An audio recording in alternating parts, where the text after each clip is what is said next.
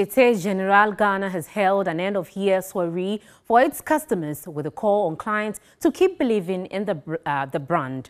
Managing Director Hakim Ouzani assured customers that the bank would continue to take its customer service delivery to the next level.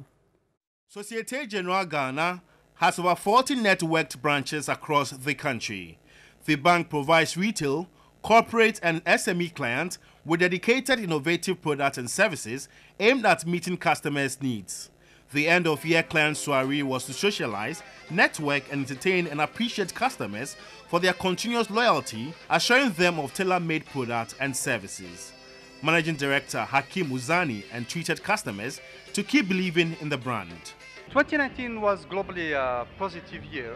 We have increased our market share on the corporate side, on the retail side, we have done few uh, also innovations to adapt our producers, our solutions to our clients.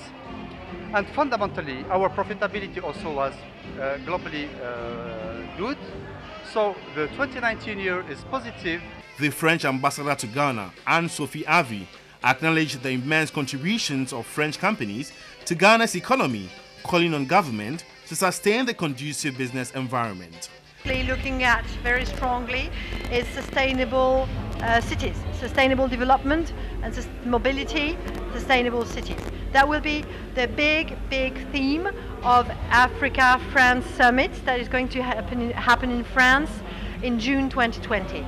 The bank is recognized for supporting individuals and businesses of various sizes and backgrounds to achieve their full potential.